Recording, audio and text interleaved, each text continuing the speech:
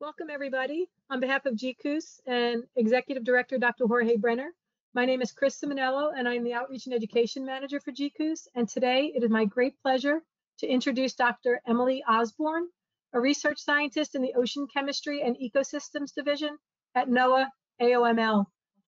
And Emily is based in Miami, and her work is focused on using a range of techniques and sensors to investigate biogeochemical issues related to ocean health and climate.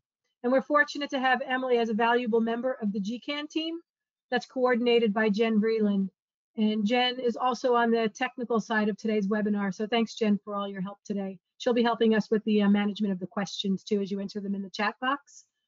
Um, Emily is also a part of a federal steering committee that's appointed by the subcommittee on global ocean change research that is tasked with the development of the fifth national climate assessment She's the federal coordinating lead author for the Oceans and Marine Ecosystems chapter, and I'm looking forward to learning a lot more about that today. So without further ado, here's Emily presenting her talk titled Using Biogeochemical Argo Technology to Observe Gulf of Mexico Biogeochemistry in Near Real Time. All yours, Emily. Thanks. Thank you so much for the introduction, Chris, and, and thanks again to GCOOS for the opportunity to present um, some of the work that we have gotten off the ground in the last couple of years at AOML. So hopefully everyone can see my screen clearly. Um, so on this first slide, uh, I've included my email contact information. I'll have it again on the final slide. If you have follow-up questions, you want to learn more about Argo observing technology, you're interested in using the data for some of your work in the Gulf, um, or if you have education and outreach opportunities that you want to connect on, please um, follow up and, and, connect with me. I'll be really happy to hear from you. Um, so the title of my talk today is using biogeochemical Argo technology to observe Gulf of Mexico biogeochemistry in near real time. So as Chris mentioned, um, I work at NOAA's Atlantic Oceanographic and Meteorological Laboratory down in Miami, Florida. And when I came to AOML um, about two years ago now, I began working with Argo technology for the very first time. So when I was working on pulling together the slides for this talk and, and knowing that it's a lunch and learn, I wanted to kind of start from uh, just the core basics of what is uh, the Argo technology, what kind of measurements uh, are being collected by the Argo array, and how are the data processed and how are they served and how can you access them and potentially use them for your work. So I'm going to kick off with some introductory background information and I'll pause um, and see if there are any questions and then I'll launch into the second half of the talk where I focus more on the work specifically in the Gulf of Mexico.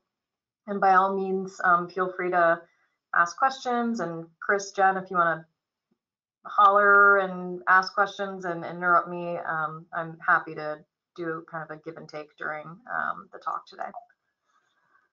Okay. All right, so this here is a map uh, that is showing as of yesterday the distribution of Argo floats across the global ocean. So at any given time, there are about 4,000 Argo floats that are out there drifting around and making important ocean measurements um, and returning to them to us in near real time. So about half of the dots that are shown on this map are supported by uh, the United States, and the other half of um, the floats that are made up of the global array are supported by a number of uh, international partners. So there are more than 30 countries that participate in the International Argo program, and it really represents a, a coordinated long-term effort for observing what's going on out in the open ocean. So this map here is uh, similar to the last one, but it's color-coded based on Argo mission. So the dominant color that you see across this map um, are floats that are core Argo floats. And core Argo floats represent the um, longest time series of measurements that we have. Um, core floats were launched starting in the late 1990s. So we have several decades worth of data coming from these core Argo floats. And the core measurements um, that are being made on these platforms are temperature and salinity and they're being made over the upper 2,000 meters of the water column. You'll see that there are a couple of other missions that have come online um, just within the last decade and, and, really have taken off in the last couple of years. Uh, the first is the Deep Argo mission, which is represented by these dark navy dots, and then there's a couple mustard dots. It might be hard to, to find because there aren't that many deep Argo floats that are out. This is an emerging and developing technology. Where we do have floats, they're kind of distributed in pilot arrays. And these floats are capable of measuring temperature and salinity all the way down to 6,000 meters within the water column. And so they will really help to unveil how ocean heat is building up and changing uh, within the greatest depths of the ocean. And the last Argo mission, which I'll spend the rest of my time talking with you about today, is the Biogeochemical Argo mission, or BGC Argo mission. The BGC floats uh, here are shown in these kind of neon green dots. You'll see that there's a decent global distribution of our BGC floats. As of uh, last month, we had just shy of 300 operational BGC Argo floats um, across the global ocean. In the future, the target is for uh, a larger fraction of the Argo array to be made up of these deep and BGC Argo floats. Um, there, within the last couple of years, has been a massive financial investment by the United States through the National Science Foundation to launch 500 BGC Argo floats over five years. That project is, I think, at the start of its third year now and is well on its way to supporting um, the US's half of the proposed BGC Argo array for the global ocean. So you may be thinking to yourself, Emily, what is a BGC Argo float? Well, a BGC Argo float is a, essentially a core Argo float that has a lot of additional sensors mounted on it. So the jump into the BGC Argo space represented Argo um, not only measuring chemistry um, and physics, but moving into biology as well. And so our BGC Argo floats are capable of measuring temperature and salinity with their basic CTD that's been on all of the core Argo floats, but they're also equipped with oxygen optode, a nitrate sensor, a pH sensor, a backscattering and fluorometer, which is uh, in one biooptical sensor. So we're measuring chlorophyll A fluorescence at 435 nanometers wavelength and optical backscattering coefficient at 700 nanometers wavelength. And some Argo floats, none of the ones that we are working with at AOML, um, but there are floats out there that also have a fifth sensor mounted, which is an irradiance sensor, which is able to tell us how deep sunlight is penetrating um, into the ocean. All of these sensors are designed to be able to withstand up to 2000 decibars of pressure. So they're operating over those, uh, that kind of standard 2000 meter profile depth that the core array has operated over time. Um, so uh, obviously these floats are quite complex. Um, they are um, designed and engineered by a number of uh, a handful of different companies across the United States. As the floats are being built, they are rigorously tested. There are calibration coefficients, which we get for every single sensor. And then they're packed up and sent to us, uh, typically uh, uh, making a full cross-country journey to get to our lab in Miami. Our floats have been coming from Seattle. And so when they get to us, we again um, do a ton of pre-deployment um, testing to make sure the communications um, are working, that we can get good GPS fixes, that all of the sensors are behaving in a way that we would expect them to, that the flotation and, and bladder um, inside of the float, which controls um, how it moves through the water column, are fully operational.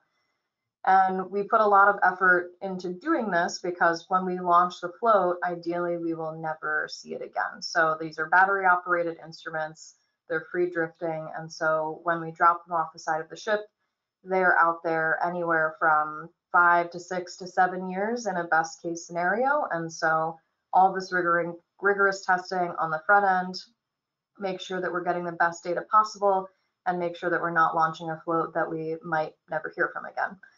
So just some interesting trials and tribulations that we've gone through um, in our float adventures so far. Uh, so in the top right, you'll see uh, the result of some of our pre-deployment testing. So this is a float that we got uh, here in-house at AOML tested. It was fully operational. We were ready to send it out to sea and we sent it for one final test where we uh, ensured that it could withstand um, the 2000 decibars worth of pressure as it sinks through the water column at just an immense amount of pressure. And it turns out this particular float could not handle that pressure. So unfortunately, the float is fully collapsed. Um, it's flat as a pancake uh, in this picture. Uh, but fortunately, this happened in the lab and it was just the outside hull of the float. So all the fragile, important electronics and sensors were taken off uh, to do this test. So they were fully intact. And so we've been able to switch out the hull and we're now um, getting ready to deploy um, uh, this float within the next couple of months.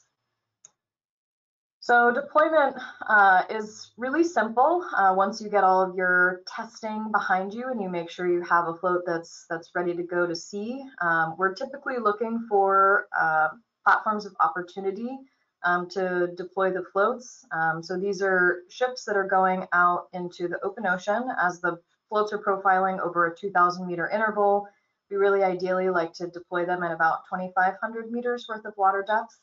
Um, that just makes sure that when we deploy the float and it does that first initial profile right away, that we're not hitting the bottom. And so uh, the floats, when they go to sea, are put in a what's called a pressure activation mode. And uh, when they hit the, the water, um, they essentially know that they are immersed in seawater and they begin their mission automatically. So um, deployment of the float is actually quite easy and we often have um, partners that, that do these deployments on our behalf out at sea. When we're deploying biogeochemical Argo floats, we really ideally like to partner with cruises that are collecting um, CTDs at, uh, as a part of their core mission. That way we can have bottle data at the site of the float deployment, and so we can essentially have an independent validation data set to look at the first profile that um, is being returned by the float sensors in comparison to uh, lab measured bottle data. And so we like to have Winkler, oxygens, nutrients, specifically nitrate, uh, pH and or other carbonate system um, measurements like total alkalinity or PCO2. And then we also ideally like to collect seawater filters um, at two depths at the surface and the um, deep chlorophyll maximum so that we can look at HPLC pigment analysis and also particulate organic carbon to compare to our biological data sets. We are always looking for uh, deployment platforms to partner with. So if you or a colleague um, has a cruise that's going out into the Gulf that you think could potentially uh, spare some room for a BGC float, um, please contact me. I am making lots of connections with folks that are going out. Um, it's pretty simple to actually deploy the float and um, it can potentially benefit some of the science that's being conducted on the cruise. We can rapid, rapid cycle the float, get some cool data while the ship is out there operating, collecting um, CTDs and other measurements or potentially glider measurements. Um, so if you have any connections and would like to connect and um, potentially partner with us on deployments, um, please don't hesitate to contact me. So the standard Argo mission uh, represents approximately a 10-day cycle, although we can modify uh, this cycle, which I'll talk a bit uh, at the end of this slide about. But the way that a, an Argo float is programmed is for upon deployment, um, the float is collecting a, a profile immediately. And after that first profile is collected, it sinks back down to what we call its park depth which is right around a thousand meters. When it's hanging out at a thousand meters and parking, it's staying there for about nine days. There are very few measurements that are actually being made at the park depth. It's typically checking to make sure, am I at the right pressure? Am I a bit below or above a thousand meters? And it will adjust its bladder to make sure it's coming back and it's hanging around a thousand meters as closely as possible. There are a couple of underway kind of spot measurements you can turn on to have the float make, but largely it's in a hibernation mode where it's conserving battery. Around that nine day interval, the float will begin ascending to its 2000 meter uh, maximum depth. And once it hits 2000 meters, all the sensors uh, turn on and begin making measurements during the ascent. The ascent from 2000 meters all the way to the surface takes anywhere from six to eight hours, depending on sea state. And when the float uh, reaches the surface, it has um, an antenna um, and part of its sensor package, which fully emerge out of uh, the surface ocean. If we don't uh, get out of the surface ocean, the comms antenna cannot transmit the data. So it's really important that we have the head of the float fully emerging out. And from there, we get a GPS fix and the data are transmitted to us. That transmission time uh, generally for our floats has taken anywhere from five to 10 minutes but at max, the float's going to be at the surface for 30 minutes um, transmitting the data.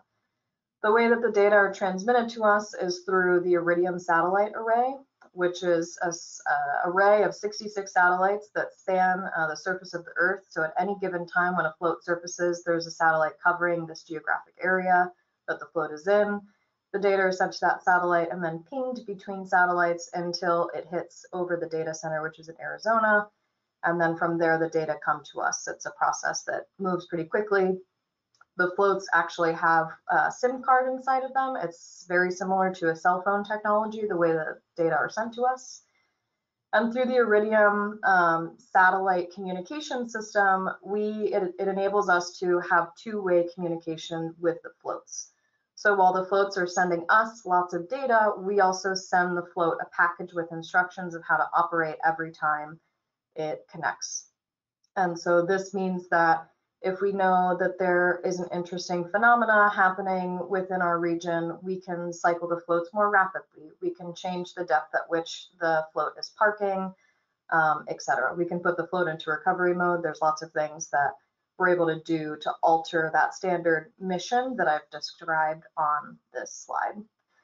So I think I mentioned earlier, but uh, just to reiterate, the floats are battery operated. And so they're designed um, for all of the sensor packages, the bladder system, anything that consumes energy. Um, they're designed for the batteries to allow the floats to collect 250 profiles. And given um, if we're operating on our the standard 10 day cycle, our floats ideally should live anywhere um, to about six and a half years. The average lifespan of a BGC float is between four and five years. There are some floats that go much longer. There are some floats that uh, don't last very long at all. So it's kind of um, depends on the state and if there are any kind of premature failures of different elements of the floats um, that go down. So this is a slide with a ton of information and it's not meant for you to read or maybe absorb anything on this slide aside from the fact that the Argo data system is one that's been um, developed over the course of decades. It's an extremely robust um, data system. There are very well established handbooks, protocols, um, and approaches to um, processing the data and performing the real-time quality control checks and also the delayed mode quality control checks. And um, so when float data are transmitted via the Iridium satellite array and they come into our data servers, all of the US um, PIs that are operating floats have their data flowing into one data assembly center. That data assembly center happens to be here at AOML. So AOML is receiving all of the US Argo data as it comes in in real time. And our AOML data assembly um, center or DAC is taking the data decoding it, so taking the sensor kind of count information, pairing it with that um, float calibration, and making real kind of usable scientific information, and also doing a first pass of real-time quality control, making some minor adjustments to the data, and also flagging it. From there, the data is pushed to a global data assembly center. There are two um, GDACs, they're called. They're mirrored, image, like perfect mirrors of one another. So we have redundancy in case one goes down, the other is still operational.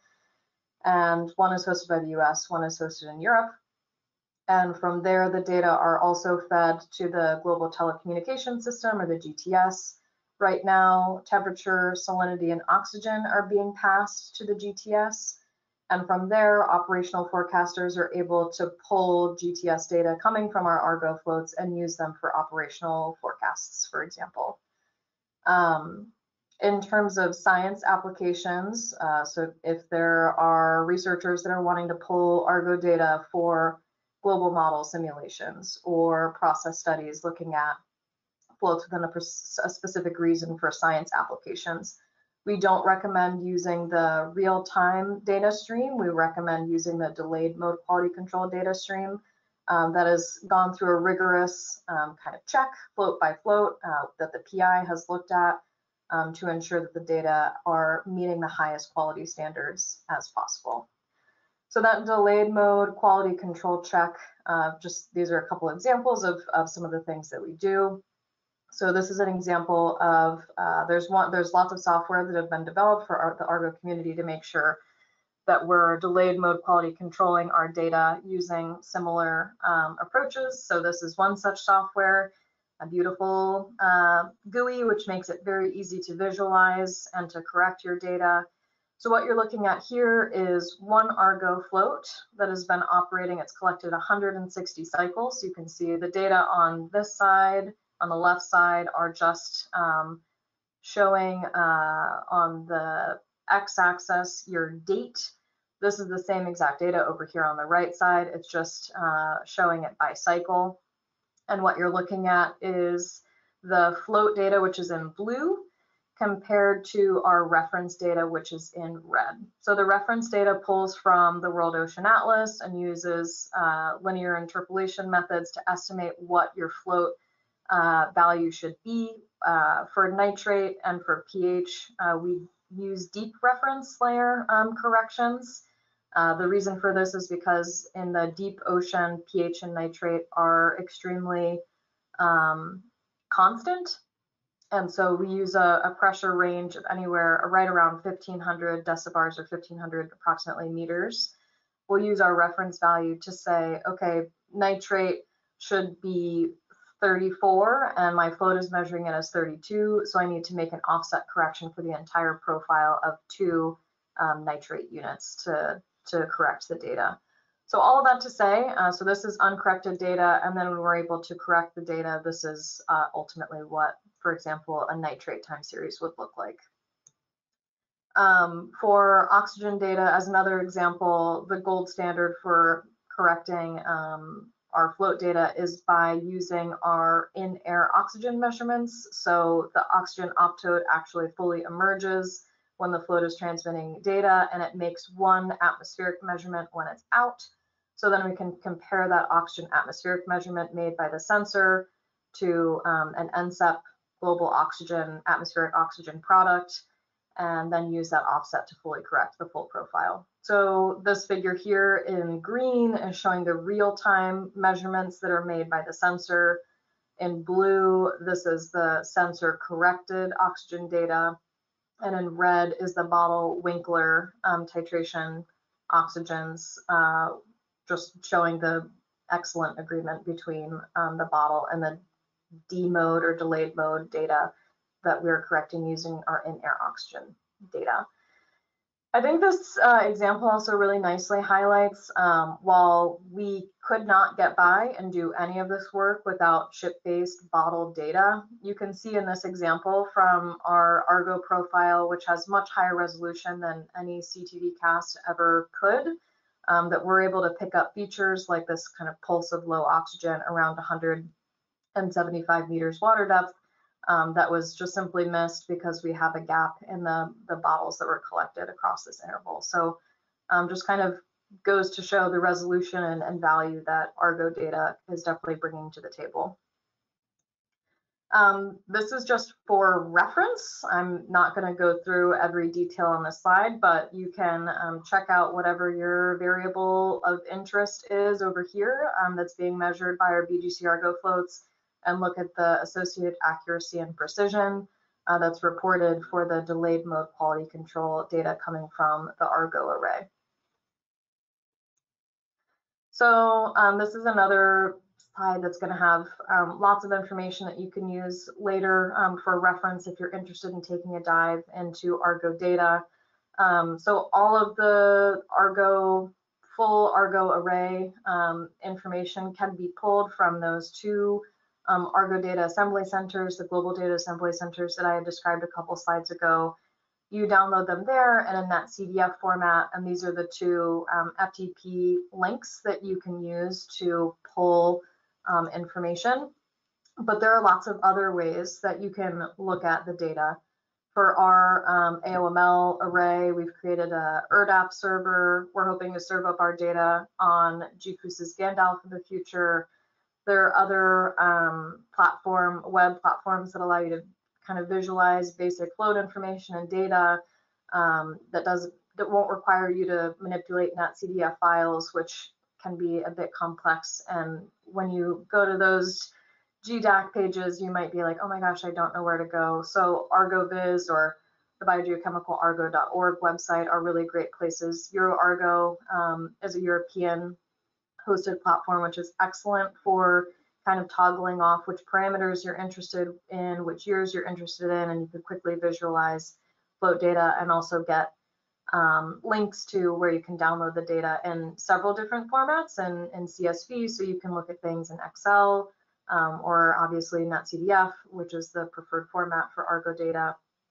And um, there are more and more tools um, or tutorials that are coming online for new users as we anticipate launching more and more BGC Argo floats in the future. We want to make sure that folks know how to access and visualize and manipulate the data. So there's some toolboxes and tutorials, um, which I've included a link here, which I can definitely um, provide these slides to GCOOS and or if you want to contact me directly, I can um, point you in the right direction there. So that was the first half of my talk and I'm going to just do a quick break and see if there are any questions that have come in from the audience um, before rolling into the second half. I don't see any in the chat or the question box. Let's give folks a a minute or so to enter any questions they might have? Yeah, please. Of course, I have several, but I'm the moderator. I'm not supposed to ask any. So I will give our participants first dibs on the questions. I guess while we're waiting for folks to ask, um, I guess one question is, is access to the visualization on the DAC open access or is that currently password protected? Everything is uh, open access. I should have made that super clear. So all of the data that are collected by Argo are freely and publicly available. Um, so no password protection, you can get in. I think the biggest hurdle to working with Argo data is having the right tools and knowing where to go. Um, and there are more and more researchers coming online to help kind of direct folks to how to do those two things. Thanks. And still seeing no questions. I'm going to ask you one more before we go on. Yeah, sure. that's okay.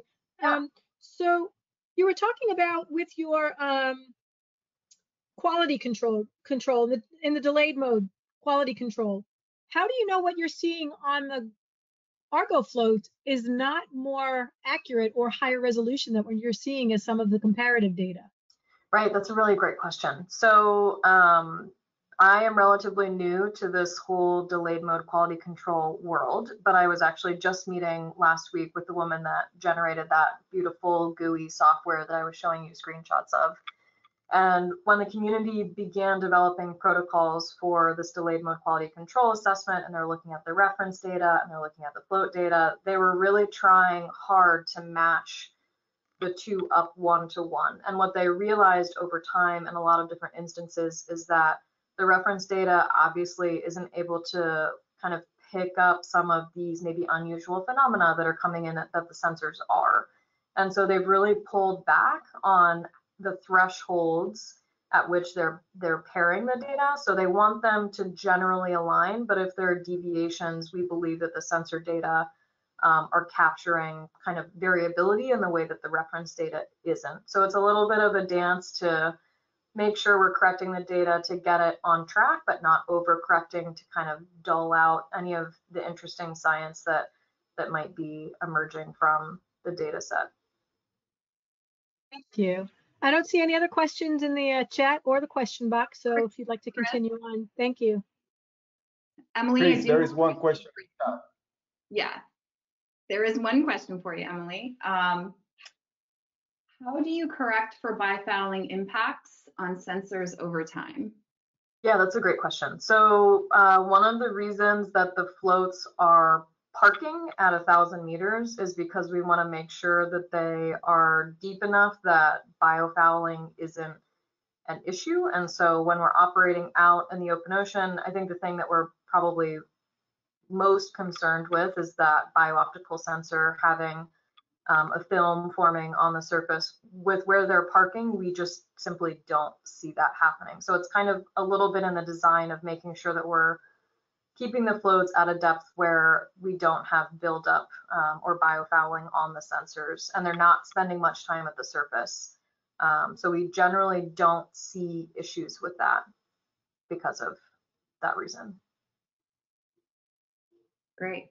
And actually, I do have a question for you, Emily. Um, and this is regarding how you are preparing to deploy uh, Argo floats. Um, you know, typically in, in, my background, you know, we can look to see um, what gliders are out there at what particular time, but there are a lot of floats out there. And how do you determine, is there somewhere that you can look to determine like what's out there before you deploy your own? How does the process, um, you know, how is that being handled? Yeah, that's a great question, Jen. So the way that we decided where to launch our floats uh, was pretty linked to the platform that we were partnering with to actually launch the floats. So there are a lot of criteria. We have to make sure that we're in deep enough water. We have to find a platform that's collecting all these validation data sets that we want to have. And so a lot of it is just kind of predetermined of what ships can we find, what ships of opportunity can we find to get out there and get the floats in the water once they're actually launched, um, they're drifting with the currents. So they're moving around, in our case, in the Gulf of Mexico a ton, um, as compared to other programs which are launching floats out in the middle of the Pacific or the Atlantic. They're not drifting nearly as much as our floats are in the Gulf. So as much as we maybe want to target putting a float in a particular location, it's definitely not going to stay there. And with that being said, there are lots of um, Argo floats, core Argo floats that are operating in the Gulf of Mexico. We have about anywhere from 20 to 30 um, in the Gulf at any given time. But for our BGC Argo floats that we launched, um, these are actually the first floats of their kind. So wherever we put them, we were um, kind of putting floats out there that were unparalleled. Very cool. Thank you. All right, I'm going to roll into the rest of my slides. Okay, so turning our attention to the Gulf of Mexico. Uh, so I really don't need to orient this audience uh, to the importance of the Gulf, uh, but bear with me. So the Gulf is the largest uh, marginal sea in uh, North America. We have a huge US EEZ with important commercial fisheries. Uh, we have uh, important ecosystems that are providing ecosystem services and coastal protection. And ocean biogeochemistry is central to understanding and predicting how ecosystems are going to respond, um, particularly to climate change in the future. And we really had a lack of observations with respect to biogeochemistry in the open Gulf region um, prior to the deployment of these floats. Um, so when I refer to open Gulf, I'm talking about anything that's greater than 2,000 meters water depth. Uh, and we are all familiar with the Gulf of Mexico and the fact that we have this huge dominant current system, the loop current, which is um, exerting a huge influence over particularly the open uh, Gulf region. It's shedding anticyclonic and cyclonic eddies and uh, setting up these um, anomalies across the basin, which we're definitely seeing in our BGC Argo data. It's providing both challenges and opportunities uh, to our program as it really makes our floats move fast sometimes, um, but it's uh, resulting in some really exciting science questions that we're able to ask um, in terms of how does the loop current affect uh, Gulf of Mexico biogeochemistry. And so as I was just kind of referring to and talking with Jen, uh, these floats are floats uh, from AOML. We're launched in the Gulf in September and October of 2021. We purchased four floats, um, and just to, to give you a sense, when you order a BGC Argo float, it's going to take at least a year for it to be produced and for it to actually get into your hands. From there, you need to do pre-deployment testing, find a platform for deployment. So it's anywhere from a year and a half to two years from the inception of we have the money, we have the idea to deploy a float to actually getting it into the water. So we have these four floats. Uh, they're about 100K a pop, so definitely a, a big investment. Um, we've had three of them that have been operating beautifully within the Gulf. One of them, unfortunately, we launched and we simply never heard from again. It's one that we didn't see any issues with in all of our pre-deployment testing. It was seemed fully operational. Um, unfortunately, what we think happened was that there was an issue with the bladder in this float and it was a bit sticky. And so when the float was um, kind of fully extending its piston and this bladder was in its most collapsed, collapsed phase, it was sticking a bit to the inside and it wasn't allowing the float to fully get to the surface and emerge its antenna to transmit data.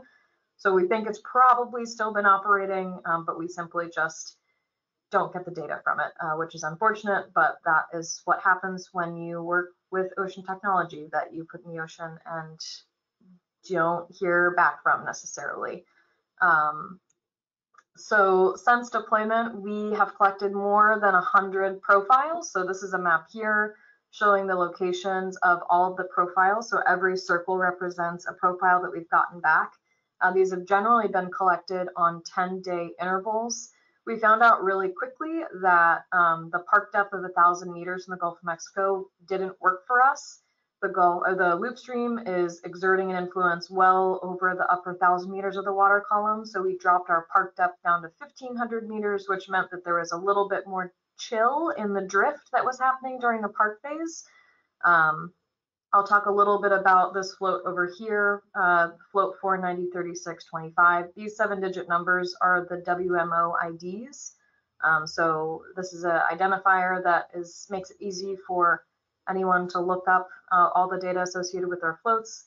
Um, but for this particular float over here in the eastern part of the basin, uh, as you may suspect, was very quickly entrained in the loop current, and we've actually recovered that float. So I'll talk a bit about that in a couple slides. So to um, give a nod to the data gap um, that we're filling with these floats. I mentioned earlier that there are lots of core Argo floats that have been and continue to operate in the Gulf of Mexico, but the three floats that we've operated in this region are the first biogeochemical Argo floats that have ever um, been in this region. This is a, a, figure here on the left showing the data in the World Ocean Database or WOD18. Um, this is data that spans all the way from 1933 to 2018. And there are a total of 35 pH profiles in the Gulf of Mexico in waters that are deeper than 2,000 meters. And within the first year and a half of our operation within the Gulf, our floats collected um, almost three times as much data.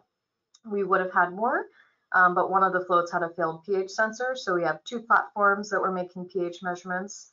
Um, and so just a, a, massive increase in the amount of data that we're getting from the open ocean, which is going to allow us to a look at how are things varying seasonally when we have episodic storm events, how are things happening on shorter time scales, um, and then also as our time series persists over time, we're really excited to look at interannual long-term kind of climate scale changes um, as we move into uh, collecting years and years and hopefully decades of data.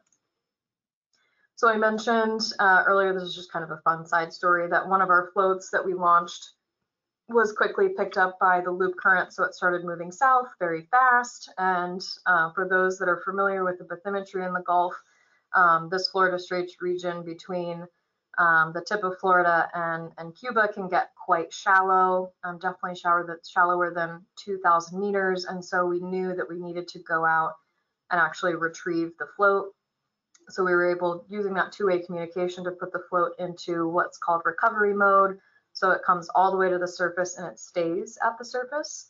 With the last GPS fix that we got, uh, before putting it into recovery mode, we contacted the US Coast Guard as well as the Coastal Data Information Program or CDIP, and they were able to create projections, which I'm showing here, of where they thought the float would go over the next couple of days.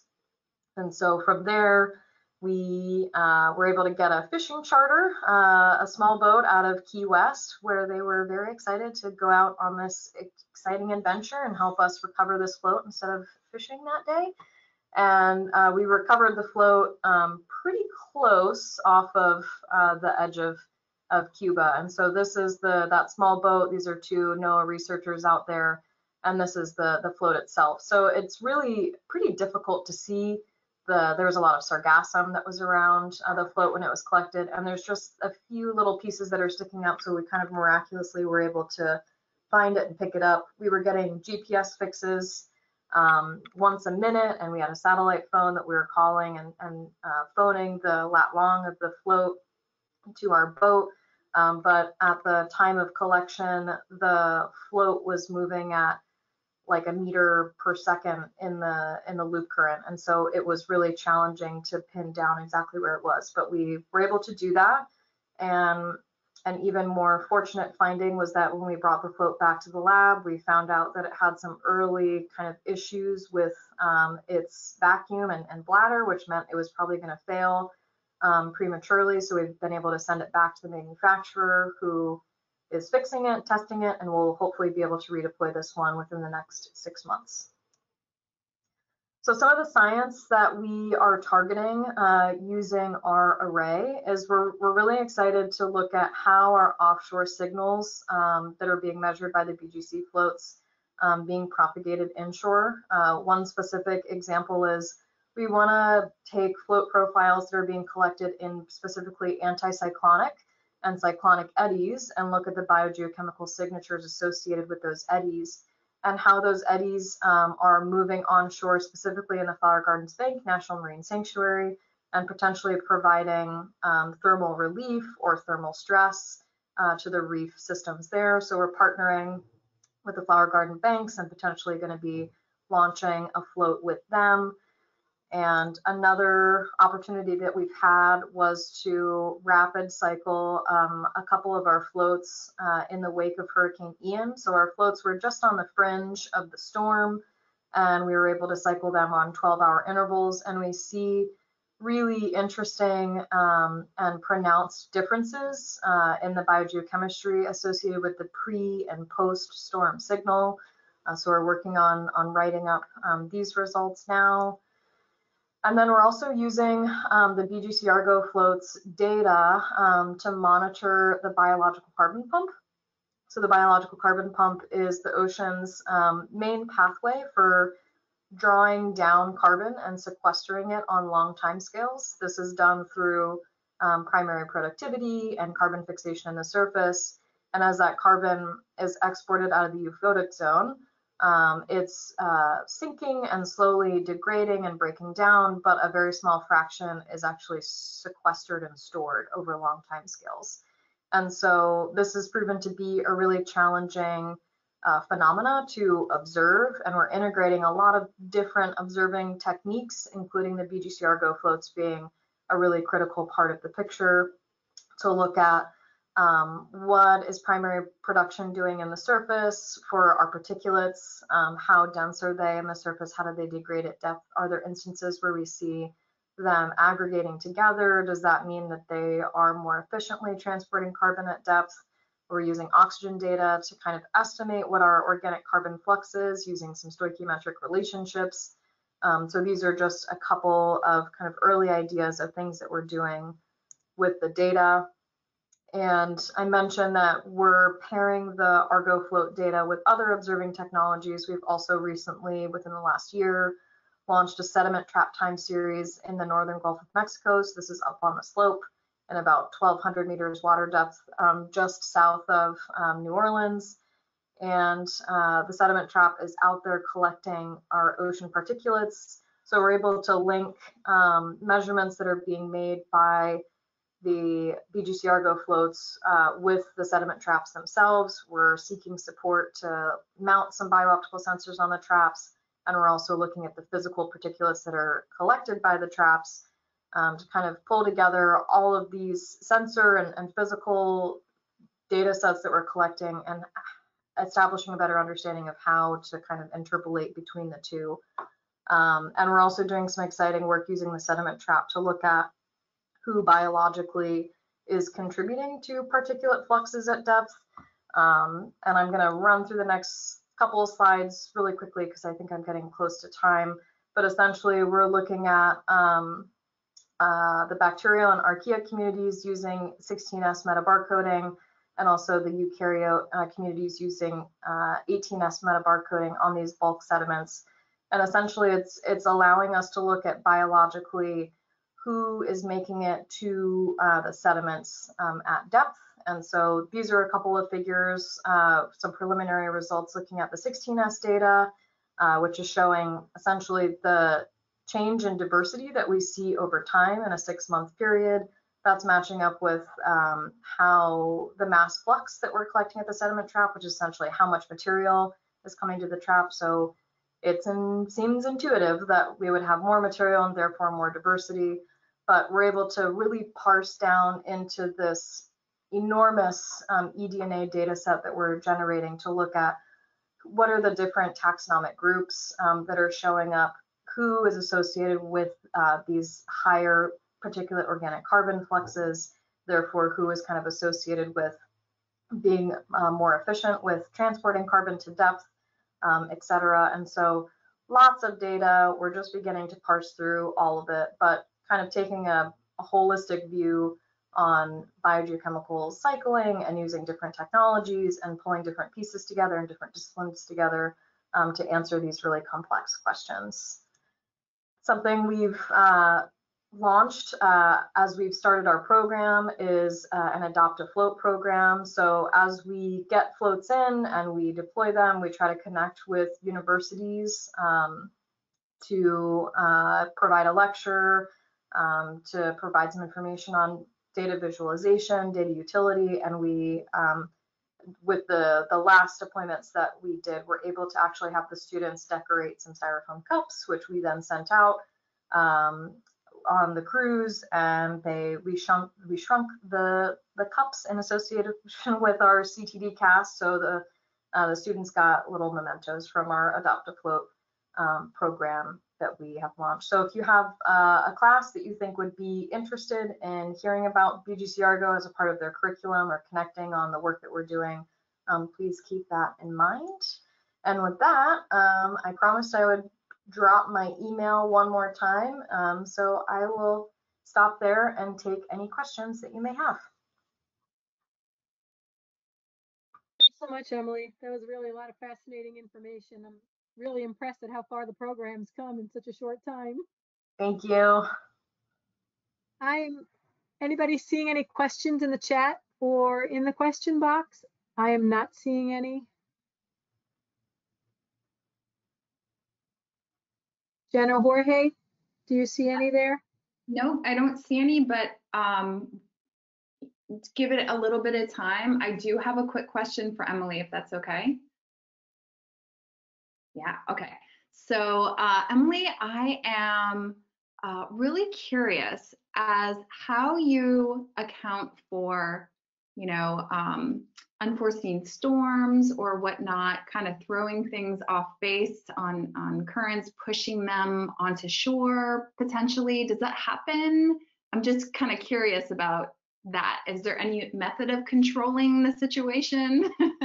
totally. Uh, we've definitely been thinking about that more in the Gulf than I think the average float operator does um, out in the open ocean. We have been working with um, a group that is using HYCOM global like ocean circulation simulations to estimate the locations of the floats. Because we're only hearing from them once every 10 days, there's a pretty big margin of error for projecting out where a float is going to be 10 days from now. But we can, depending on where the float is, sort of estimate where it's going to be in the three to five day range. but it's really a surprise sometimes when we get um, our float, a new profile coming in and we say, okay, where's, where's the float now? Right now, we have a float that is really far north um, in the Gulf and it's every time it's going down and collecting a full profile, it's hitting the bottom and it's not affecting the floats operationally in terms of it's still able to get to the surface and transmit data, but that biooptical sensor that is mounted on the bottom of the float is getting some mud on it. And so that biooptical data is just not good right now. Um, so there, there are definitely some challenges. There's not much you can do in the way of driving the floats. We've tried to do that a little bit, um, but with 10 day cycles, it's it's super hard to do that. Yeah, it's fascinating. You guys are doing an incredible job. Thanks, Jen. It is. I still don't see any questions, so I'm going to be a bad moderator again and ask another one, if that's okay. Please. I'm back to your eDNA component. Is that also transmitted via satellite? It's all processed within the BGC components, or how, how does that work Yeah. in your system? Yeah, I kind of flew through those slides. Sorry, Chris. Um, so the eDNA component, while it would be just incredible to have something like that on mounted on the floats itself, I feel like it's an idea that keeps coming up. We just don't have the technology to do it right now. But the eDNA component is strictly coming from that uh, the sediment trap time series. So the moored um, collections that we're getting that we're getting physical particulates which we're bringing back to the lab once every six months and then processing and extracting the dna and sending it off for sequencing. So that's definitely not happening in real time. We only have six months of data in right now. Um, we've got another six months of sediments that we've just got but we need to extract and send them off. So that's a that's a much slower process but we're trying to make a connection between it and the data that the float are giving to us just to kind of maximize the meaningfulness of what are the floats telling us about the open ocean and how we can make other connections to other data sets. And That's going to be tremendously valuable, especially with the evolving marine biodiversity observation network and some of these other programs that are looking at biological capabilities within IUCE, because that's kind of like the untapped treasure right now is to be able to connect those measurements up with all of the living marine resources. And it's great to see the progress that's being made here, because that really is going to be the connection between the surface and the deep sea. Yeah, I, we think so too. Thanks. We're coming up on the hour. We have about two or three minutes left. One final opportunity for anybody for questions? Jen or Jorge, am I missing anybody that you see? This is Jorge Chris. I just want to congratulate Emily for the presentation and the exciting work that she's bringing to us. I've been waiting for months to hear more about this, and I'm especially looking forward for that collaboration that you mentioned in um, integrating your data into uh, the GCOOS uh, Gandalf uh, GeoViewer. So um, um, again, congratulations, and we hope that we can have you in the future uh, with more updates. Mean. Thank you so much, Jorge. Emily, we do have a hand up from Russ Miller. Russ, I unmuted you, so feel free to talk if you can. There you go. I've been struggling with the controls just a bit. Um, we're in the Great Lakes uh, with uh, NOAA GLERL and uh, CIGLR and looking at um, not BGC floats, but um, using shallower floats for Great Lake applications. Uh, this is a great presentation um, a great integrated project it looks like you're, you're running. So um, thank you very much for, uh, for going into it. Thanks so much for uh, thanks for that, Russ, and, and thanks for your work in the Great Lakes. I know that there's been some discussion about uh, BGC floats in the Great Lakes. I'm not sure where where that stands uh, now. I think it might be challenging just with the the depth and that biofouling question that someone asked earlier. But um, Right. yeah. I think that's, yeah, that sounds like our assessment at this point. Uh, gliders are about 60 days, we get um, significant, start to get fouling. uh, So thank you very much. yeah, thank you. Thank you so much, Emily. And if it's okay with you, we'll make this presentation available on the GCOOS website and we'll send that to participants. And if, of course, if anybody thinks of any additional questions, feel free to reach out at any time. Jen, did you have any other comments? Not on my end. Thank you, Emily, so much. Thank you so much. And thanks for everyone for coming. Uh, it was great having you here. Thanks, Emily. Bye, everybody. Have a great day.